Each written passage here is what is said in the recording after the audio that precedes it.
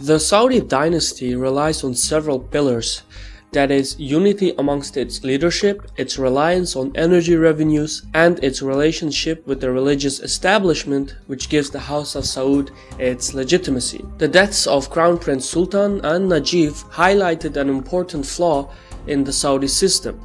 It shows that the second generation princes who have ruled the country for most of its 80 year history are now few in numbers and it's only a matter of time before the third generation princes will step up into the leadership role, and this will put uncertainty on a key pillar unity amongst the leadership.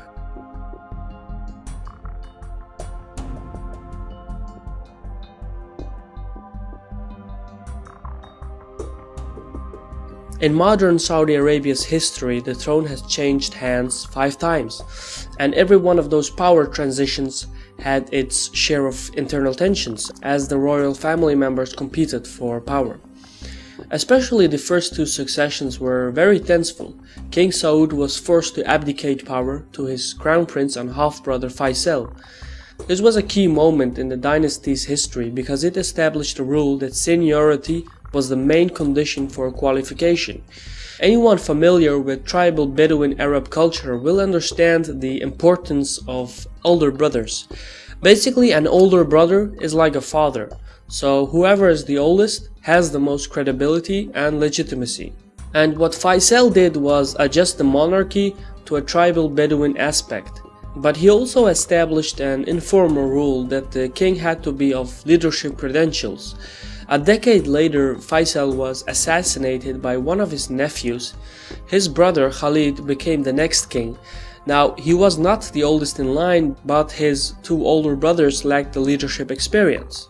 Ultimately, the princes settled their differences for some compensation, and this ensured the stability and durability of the kingdom. Once Khalid became king, he realized that he needed to tweak the balance of power in the various family branches and progenies. The House of Saud started to resemble the imperial harem of the Ottoman Empire, in which full brothers rifled half brothers and created family factions within the dynasty. You see, the founder of the kingdom, Abdulaziz, had 22 wives. He basically married to every family clan in the Arabian Peninsula and thereby established the legitimacy to rule over the lands. Having this many wives also produced many sons and heirs, Abdulaziz had at least 45 sons. The number of daughters is unknown. Now, this huge family quickly divided itself in several factions.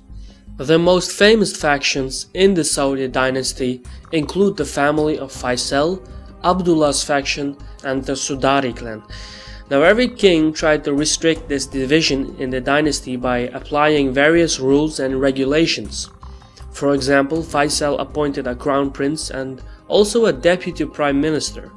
The latter essentially showed who was third in line for the throne. This process was adopted by all the other kings. Another example is when King Fahd introduced the Basic Law of Government, which, among other things, legalized the throne transition to the third generation. Now, prior to this, it was against the law for the king's son to inherit the throne.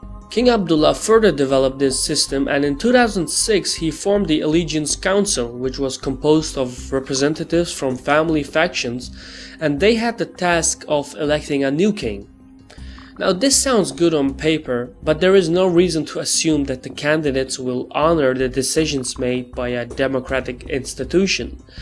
Saudi Arabia simply has no experience with democratic decision making, so it remains to be seen what role the council will play. Now, despite all the regulations, there will come a time, maybe within a decade, where a third generation prince will be crowned king. And this shift from second to third generation raises some concerns. There are many third generation princes with important roles, but only a handful have experience in foreign policy and national governance. Another issue is the reaction from other family clans. Shifting from second to third generation is a big step and no family faction wants to be left behind. Equally important is the level of education. Most second generation princes were very low educated and some were content to settle for financial benefits instead of taking a public office. Now considering the higher education level of the third generation, there will probably be more contenders fighting for the government positions.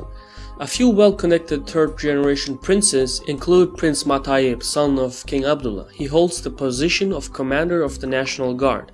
Now this is a critical position that his father once held. Another important prince is the governor of Mecca, Khalid bin Faisal, from the Faisal family. He has a strong reputation and a military background. Another famous member of the Faisal clan is Saud bin Faisal. He is the world's longest serving foreign minister.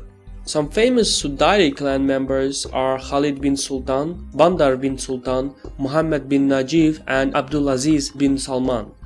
All of them have distinguished careers and experience in leadership. But this is of secondary importance when it comes down to clan politics. What the Saudis are looking for is a third generation member that will place the development of the kingdom before the welfare of his own family. But it will be interesting to see which of the third generation brothers band together and assert themselves to the throne. These factions fully realize the rivalry between them and when King Abdullah passes away, there will be a new Game of Thrones for the third in line. This new reality could destabilize the pillars of the House of Saud. Even with a little foreign intervention, it could have devastating consequences for the country. This was a Caspian report by me Shirvan. Thank you for watching and Sagal.